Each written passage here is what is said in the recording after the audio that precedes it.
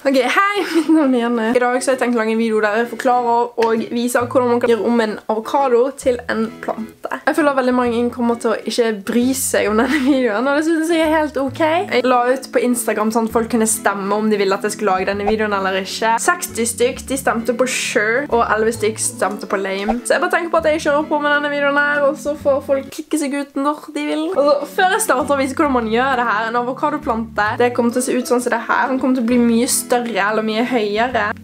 Jeg tror jeg bare tar kameraet mitt med meg oppe. Det blir sikkert litt enklere for i hvert fall meg. A few inches later.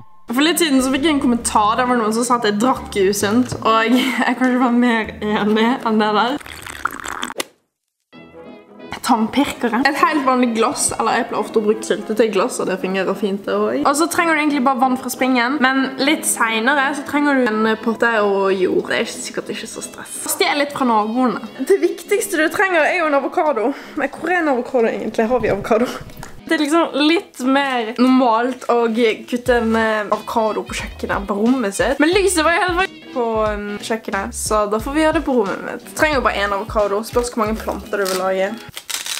Se hvor liten den er. Det her er umulig. Kniven går ikke mer igjennom enn det her. Hæ? Det er et lite brunt skall på steinen, og det har falt av.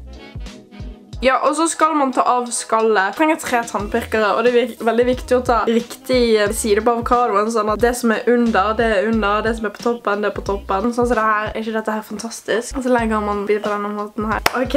Men i hvert fall, når du har gjort det her, så skal du fylle vann opp eh, dit, cirka. Opp til nesten helt til toppen. Og så skal du stille den helst i et vindu, sånn for mye lys. Så skal du bytte vann sånn hver tredje dag, men det går fint hvis du ikke gidder, men helst, liksom. Og så her er en avokado som jeg har hatt en stund. Og den har fått en sånn rot på seg, som ser veldig rar ut. Og når roten har blitt så stor, så skal du ta den i en... Um